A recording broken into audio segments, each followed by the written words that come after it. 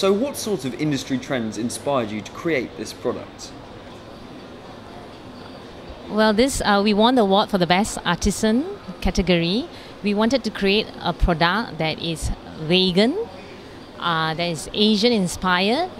It tastes well, healthy, and also uh, helps the Asian farming community.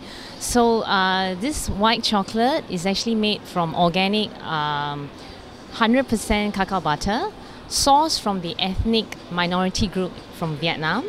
Asian inspired because we choose the best coconut infused with coconut from um, the best uh, coconut from Vietnam, and uh, it just tastes so good. And we just wanted to say, eat well and do better to help the community globally. So, how much of an impact will winning an Asia Food Innovation Award have on your brand? We are so excited that we won this award. It's our first award and it's just a confirmation that uh, the quality of the premium product that we carry and we just uh, can't wait to share with people everywhere. Thank you.